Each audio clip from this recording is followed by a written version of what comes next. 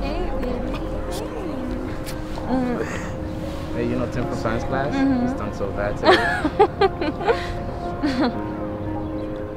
Anyway, I never understood why he got mad at me for talking to anyone else. I never understood why he always got upset when I took a call.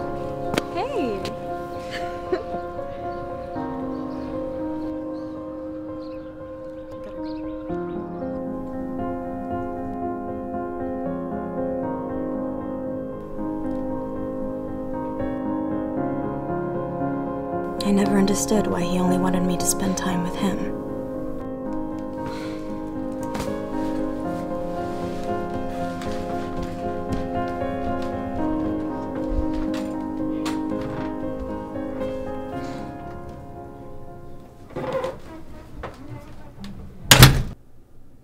I never understood. Until now.